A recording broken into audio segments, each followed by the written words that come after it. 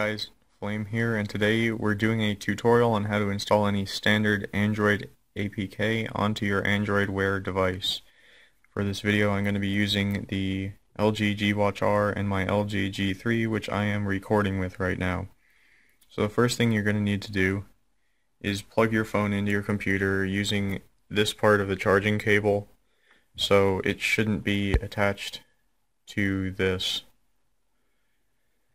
and then once you've done that, make sure you have USB debugging enabled on the phone, which you can just look up how to do that.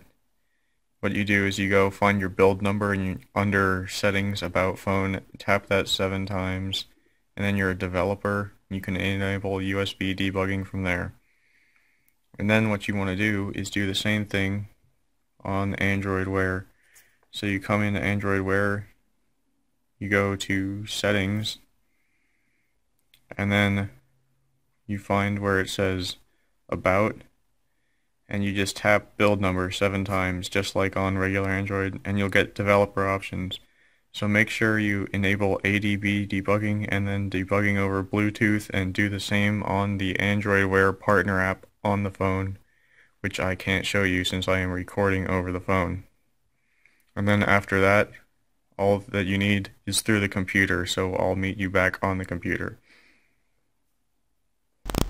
So now we're on the desktop. So what you want to do from here is make sure you have an Android SDK installed and you're going to need the ADB properly set up. So I'll have a link in the description that you can do that if you don't already have those things. But then after that, what you want to do is type CMD into your search bar if you're running Windows 7. And then here you're going to want to type ADB devices and it'll show you a list of devices attached. So this is my LG G3 that's attached but you can see it's not attached to the watch even though we have debugging over Bluetooth enabled in the Android Wear app and on the watch. So what you're going to want to do is type uh, you're going to want to type this command in. I already had it copied so I don't have to retype it but it's adb forward tcp colon 6666 localhost abstract colon slash adb dash hub and then adb connect localhost colon 6666 yeah that's the right amount of sixes. And then when you hit enter after that it connects through your phone to the watch. So now when I type adb devices it says this and then it says localhost 666 unauthorized. So what that means is it wants your phone to authenticate that it can go on there. So what you want to do is just go onto your phone. When you unlock the home screen it should say allow wear debugging. The computer's RSA key fingerprint is and then it'll give you this long string of numbers. So if you check the always allow from this computer and the OK button then that means that you're connected to the watch. So now when we type ADB devices, it has both of these devices, which is the phone and the watch. So now we're connected through the phone's Bluetooth to the watch via the computer through the Android debugging bridge. So now when you type, if you want to actually install an application, you want to go adb-e install. And then I have my list of apps up here that I've been trying out. Clash of Clans didn't work. I was sad. So what we're gonna do is put an orientation control one in here because I know for a fact that the one I'm going to install won't work unless I have this. So I hit enter and it does not look like that worked. Let me see if I can figure this out. Okay, so that actually didn't work, but I remember why now. What you want to do is type adb-e install and then hit a space before you drag your APK in and you can just drop that in there.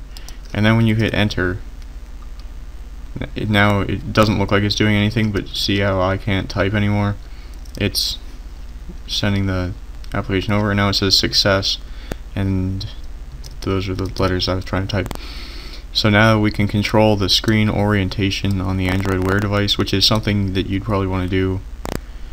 Just look for the Set Orientation app in the Google Play Store, and you can use the APK, APK extractor application and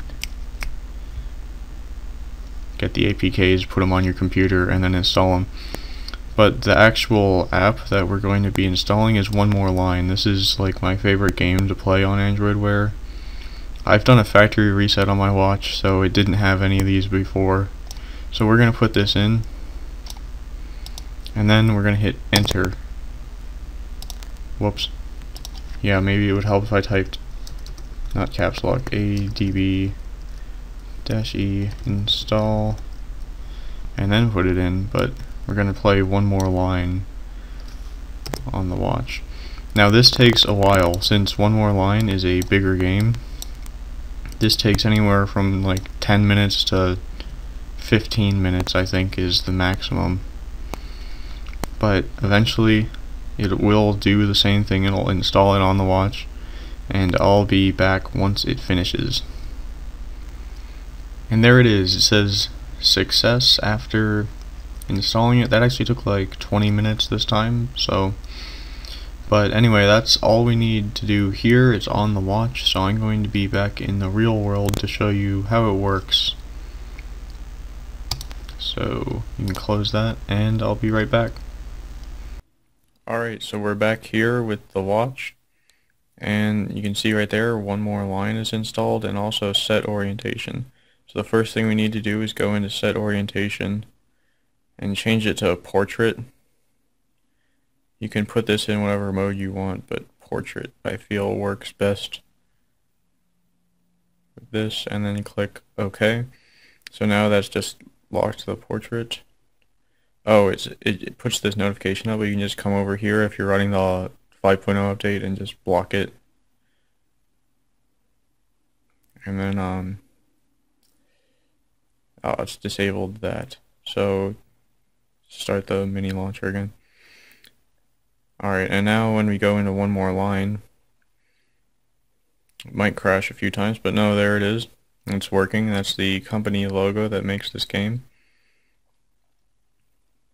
And it takes a little while to boot up because the watch only has the Snapdragon 400 and 512 megabytes of RAM, but it works.